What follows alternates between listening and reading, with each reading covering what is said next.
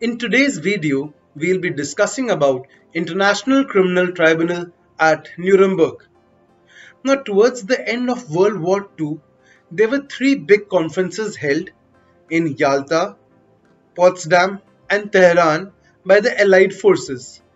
In the three big conferences, a way was to be found in which several senior Nazi officials who were responsible for the Holocaust and the mass atrocities could be brought to justice. In 1943, the Moscow Declaration was signed, which was drafted by Winston Churchill and constituted of four declarations, out of which the fourth declaration in regard to the atrocities stated that these Nazi officials need to be brought to justice in Germany itself. Consequent to these three big conferences and the Moscow Declaration, in 1945 on August 8th the Allied forces met and signed the London Agreement according to which a tribunal was to be constituted at Nuremberg to try the German Nazi officials and bring them to justice.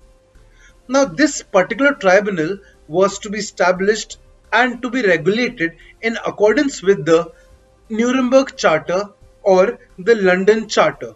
So the agreement signed on August 8, 1945 is known as the London Agreement and the charter according to which the court was going to be function came to be known as the London Charter.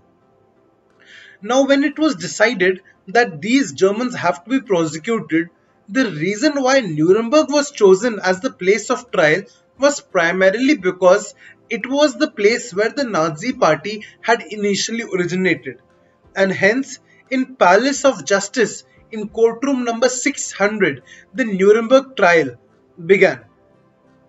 Out of the four allied powers each country had to nominate one member as a judge on the trial and each country had to nominate an alternate judge on the trial. Also, each country had to nominate one prosecutor from each country who was responsible for the prosecution of these crimes. Nuremberg trial has come down in history as one of the most important international criminal trials and it was the first time after the Leipzig trials in which the individual criminal responsibility in international law was being recognized.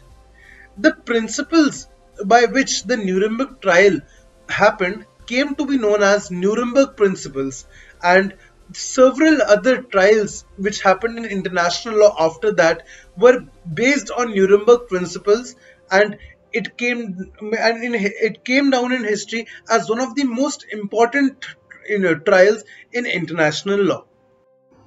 Hey guys, thank you so much for watching the video. If you like the video then please like and share and subscribe to our channel IntLexia. You can also follow us on Twitter. Do tell us in comment section what all videos of international law do you want us to make. Thank you.